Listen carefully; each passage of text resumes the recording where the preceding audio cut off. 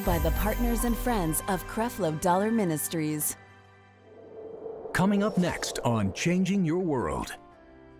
Honey, when you least expect for God to show up and have anything to do with your little nasty self, He will show up right in the middle of your nasty and speak to you and let you know I ain't going nowhere.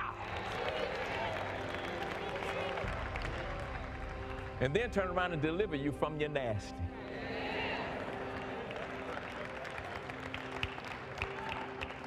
Oh my God, who wouldn't have served a God like that? Download and stay connected with the Changing Your World podcast with Creflo Dollar. Keep the Word of God at the forefront of your mind with these powerful and uplifting messages. With each message that you download and stream, you gain revelation of the fullness of God's grace. The Changing Your World podcast brings you life changing wisdom right at your fingertips, no matter where you are. Subscribe today on Apple Podcast, Spotify, or your preferred podcast platform. This is your world, so let's vow to make it a better place.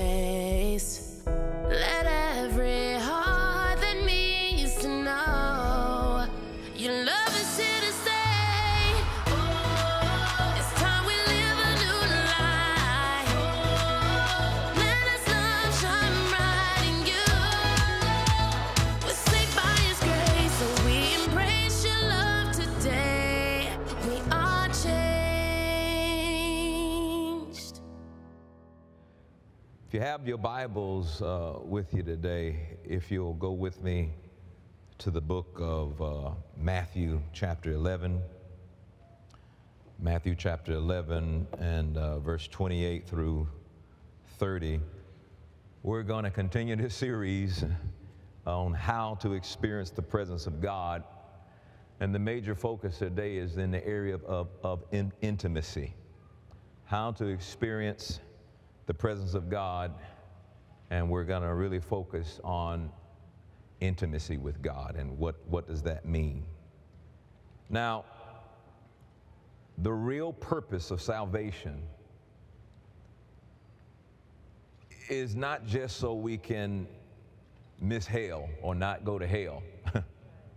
Although that probably was at one time a motivation for a lot of people. But the real purpose of salvation is an intimate relationship with God. Please, please understand me. It- it's not, I'm going to get saved so I don't go to hell.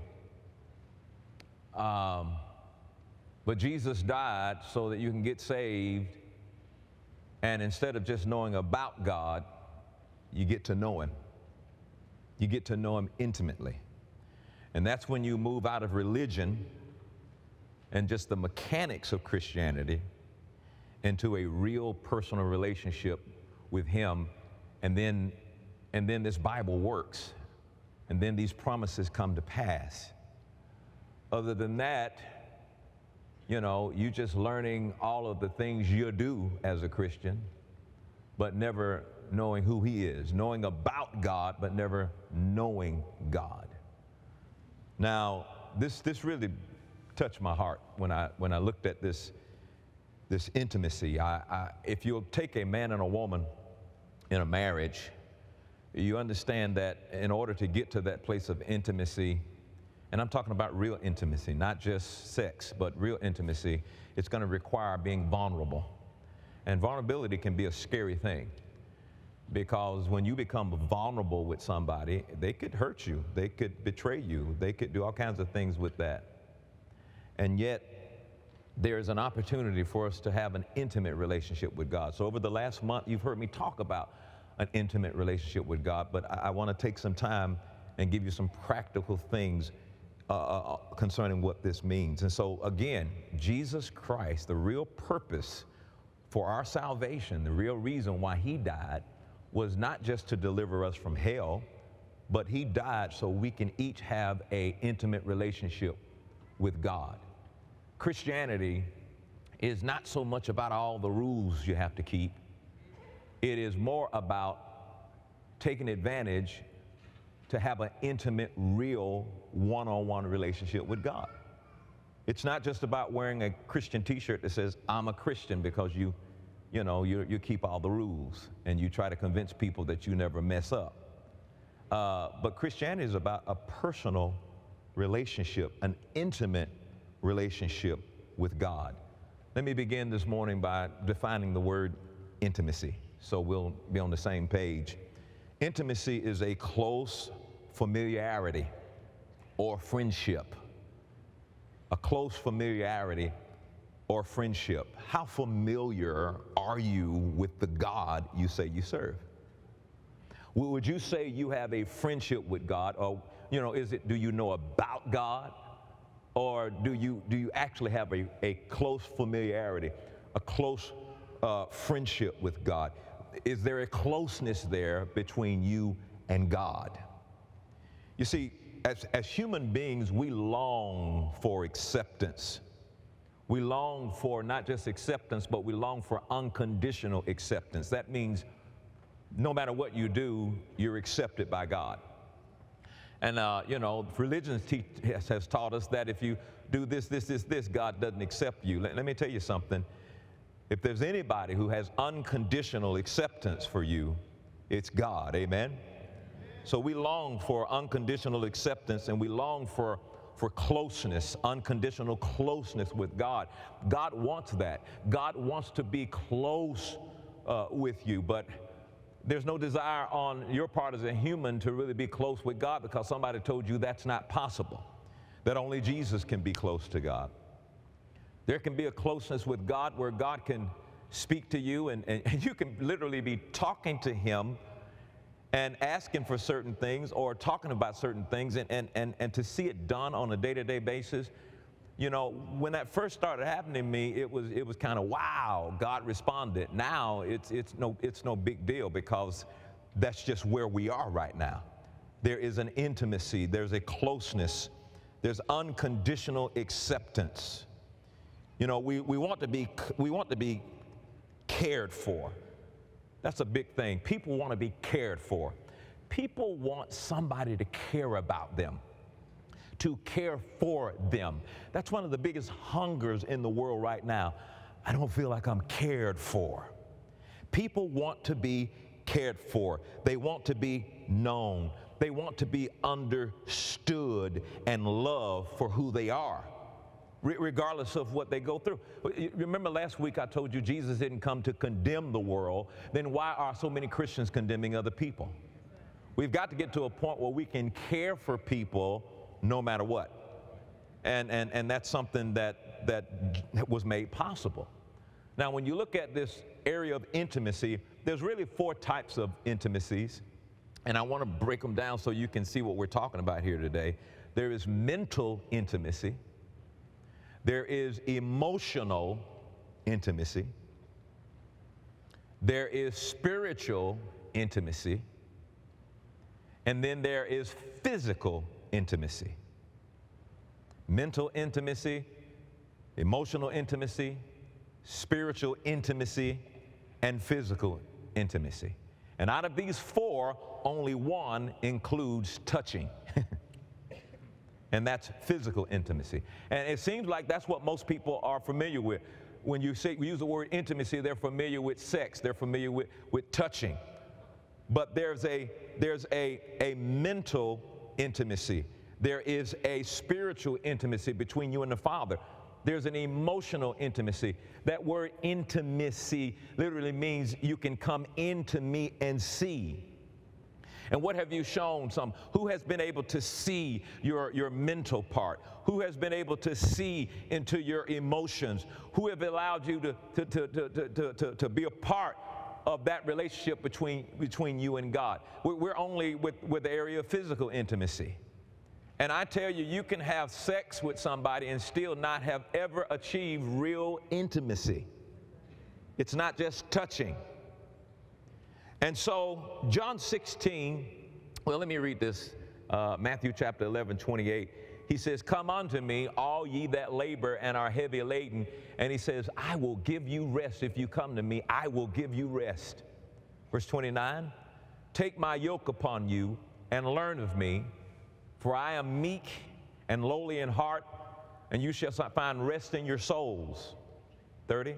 For my yoke is easy and my burden is light. When I look at developing an intimate relationship with God, of course, it starts with His Word.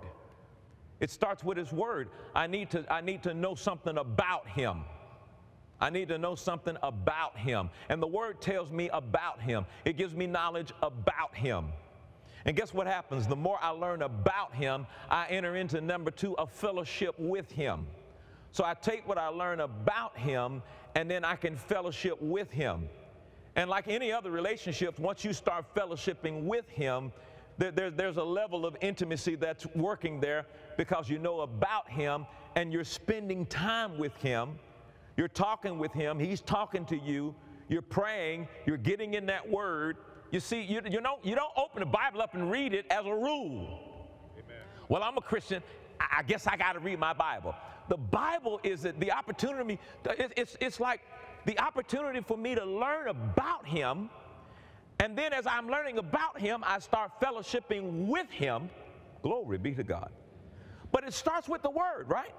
It starts with the word. And I don't, I don't know any other way to explain to Christians, you're, you're never going to be able to have an intimate relationship with God excusing the word, not spending time learning about him. See, if you don't learn about him, then, then some devilish person can come and mislead you about who he is. And, and whatever you think God is, that's what you're going to start expecting from him. If you think God is, if you think God is a um, judge and that he's going to judge you for everything you do wrong, that's what you expect from him. When you think God is someone that's not going to meet your needs, then when you have needs, then that's what you come to expect because somebody told you that. Somebody told you that. And so we got to get in the Word so we can know some things about Him, and then we enter into fellowship with Him, and then we begin to develop an impression. This is my impression of God that I know that my God is love. And I don't know my, and I know my God is, is peace. And I know my God will, uh, uh, uh, will do anything for me. He, he wants to be with me. He wants, a rela- he wants a relationship with me. And then after that impression, then I begin to experience Him. I, th- this is what I'm talking about with God. We, have limited our Christianity to just come to church, read the Bible, and keep the rules. That's not it. That's not it. It's not coming to church, reading your Bible, keep the rules. It's about do you know him? Do you know him when you're up? Do you know him when you're down? Do you know him when you're good? Do you know him when you're bad? See, if you develop an impression about God and you think, well, God is only going to be good to me when I'm good, you got the wrong impression of God. God's not good to you because you're good. God is good to you because He's good. He's not responding to what you do, He's responding based on who He is. Hallelujah.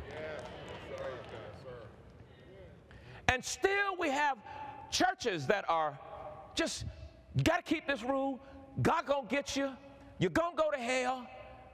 You got you got married three times. Something wrong with you. You did that wrong. You messed up here, and they're just keeping score.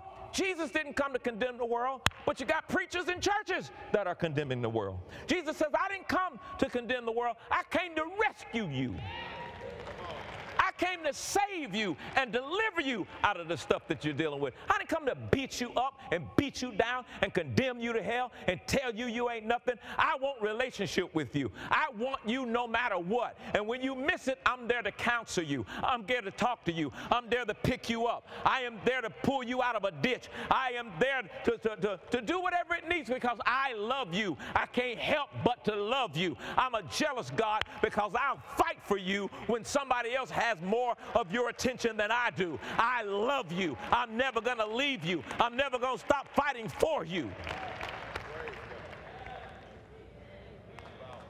Oh my God.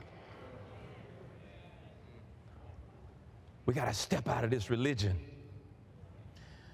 Look at what Jesus, uh, look at that uh, same verse of scripture in the um, New Living Translation, please. No, look at it in the message. Let's go to the message translation. That, that uh, what we just read, 28. Look at this. If you could put it on the screen so everybody can see what I'm seeing. Are you tired? Some of y'all like, mm. worn out, burned out on religion. I wrote a book, Why I Hate Religion. Burned out on religion. He said, Here's what I want you to do come to me, get away with me, and you'll recover your life. I'll show you how to take a real rest. Walk with me, work with me, watch how I do it. Learn the unforced rhythms of grace. I won't lay anything heavy or ill fitting on you. Keep company with me, and you will learn to live freely and lightly.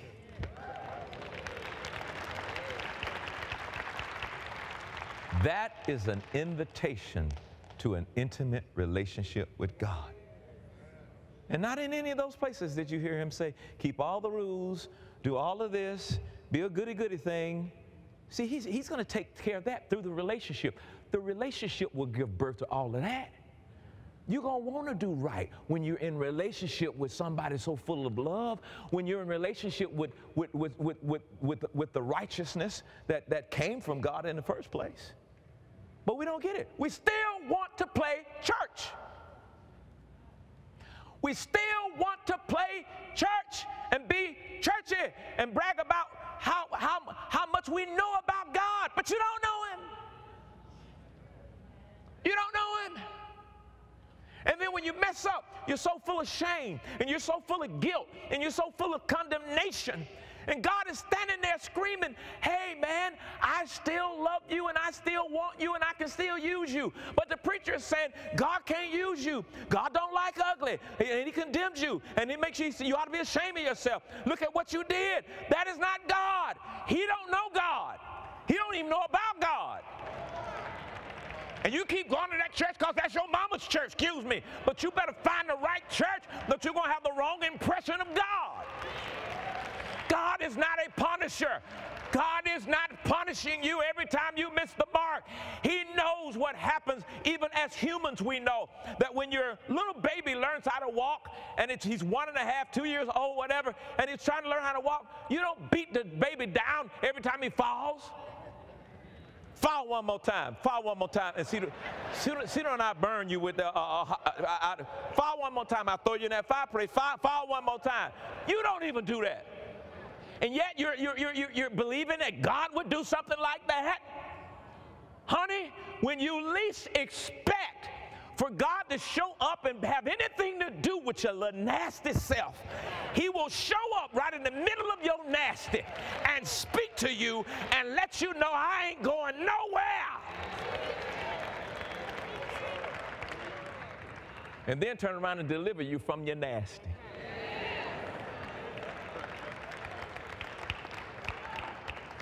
Oh my God, who wouldn't have served a God like that?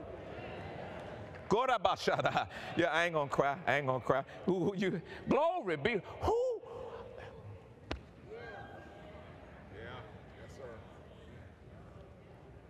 You're gonna run into people all the time. Yeah, but the Bible say this and the Bible say that. Well, you know, I don't, I don't, I don't believe in that because the Bible say this. All right, bro, you telling me about the Bible. All right, yeah, we know how much you know the Bible. Hey, we, we know you know scriptures. You, you know the Greek. Praise the Lord. You done went to cemetery school and you got your little degree. You've been ordained by five of the greatest pastors in the entire country. Yeah, you know all of that. But do you know him?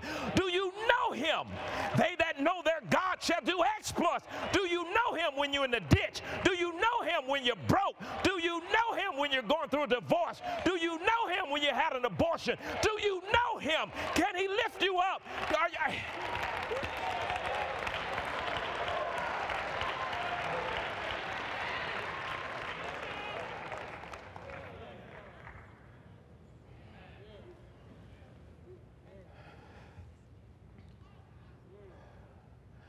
I, don't agree with Pastor Doll. I don't care. I know Jesus.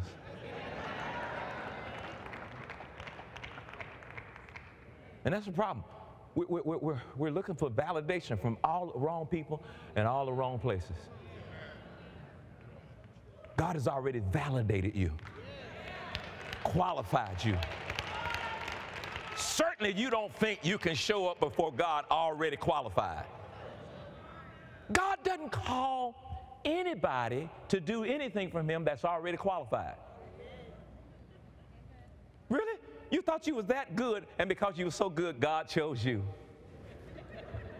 Oh, you, you, your wonderful self. You're so good. You know, you are, you are, you a superstar in the body of Christ. Just so awesome that this is why the Lord chose you because you pray and fast every other week. Glory to God. Yeah, yeah, that's why God called you because you, yeah, yeah, good. Now, now that God didn't call you because of that.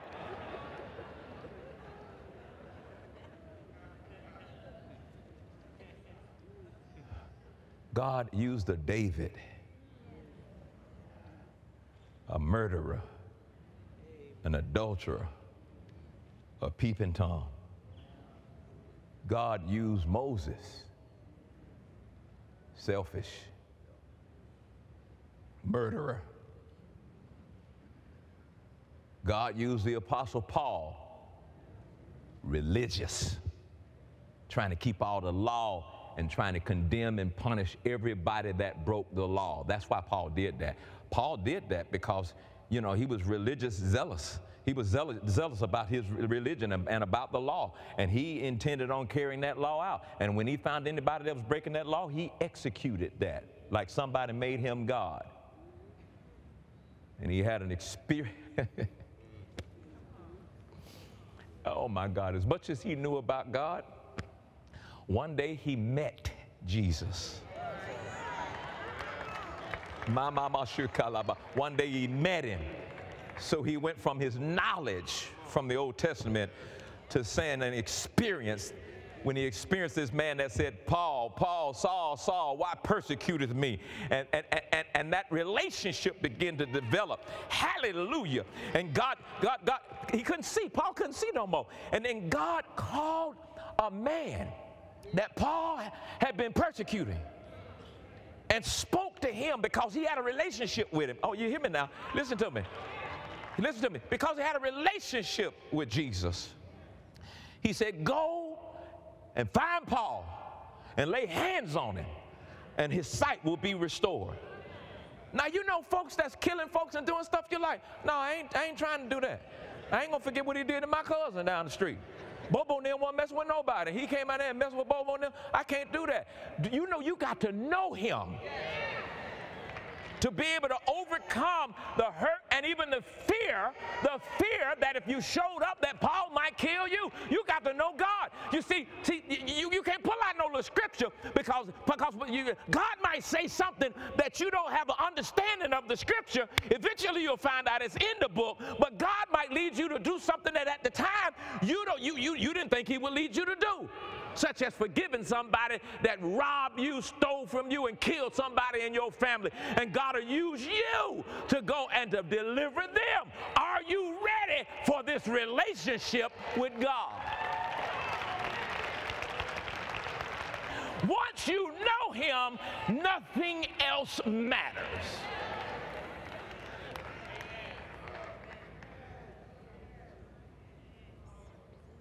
Why you dogging me out? I'm eating a raw apple pie that I like. I don't care. Now I can be free to help other people to be delivered because I have been delivered from the clutter and the slander of other folks.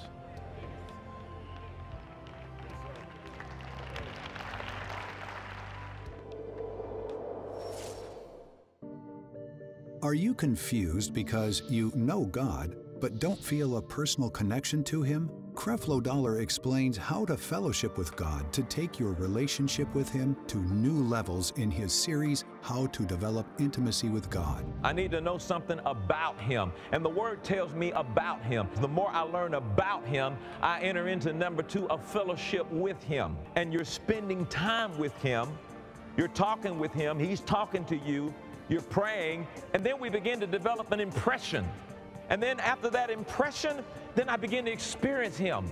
All of the knowledge about God should finally lead you to a relationship with God. You can get both messages today for a love gift of just 15 US dollars or more, plus shipping and handling. Simply visit creflodollarministries.org and click eStore or call the number on your screen to deepen your relationship with God today. You can interact with Creflo Dollar Ministries anytime, anywhere. Engage with Christ on a deeper level, develop your walk with the Lord, and strengthen your faith. All of this is at your fingertips with our state of the art, custom designed app. The new Creflo Dollar Ministries app gives you unlimited access to numerous features. With the broadcast feature, you can access your favorite messages, sermon series, and more. The app puts you right in the sanctuary with live streaming of services. You can receive practical advice for applying the Word of God to your life every day with our daily devotionals. Add events to your calendar, set reminders, get directions, share with friends, and even give securely through this platform. To get connected via the new Creflo Dollar Ministries app, visit creflodollarministries.org slash app or text app to 51555 today.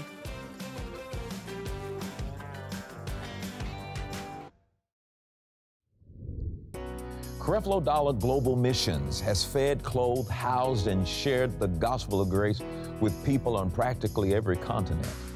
I want to take a moment to encourage you to visit our website and catch up on all the missions work we're doing around the world. You may never visit these places or witness the poverty and levels of human suffering firsthand, but your support, prayers, and selfless giving equipped us to go and to change lives for the better. Thank you for caring enough to proactively take steps to stop misfortune in the lives of others. And thank you. If you want to support our global missions outreach endeavors, consider becoming a partner today by calling in or by visiting us online and signing up. Thank you for partnering with us today.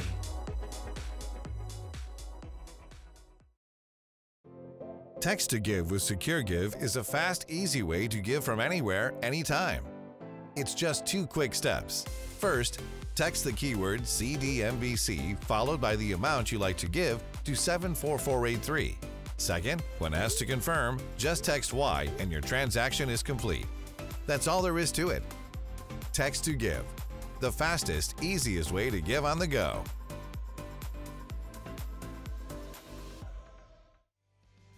Join us online as we bring you praise and worship from the World Changers Church family and the Word of God from Pastors Creflo Dollar and Taffi Dollar. For more information, visit us at creflodollarministries.org. Because of you, Creflo Dollar Ministries is providing a new understanding of grace and empowering change in the lives of millions of people every day. Thank you, partners and friends. Your love and financial support makes it possible to bring this message into millions of homes all across the globe. The preceding program was brought to you by the partners and friends of Creflo Dollar Ministries.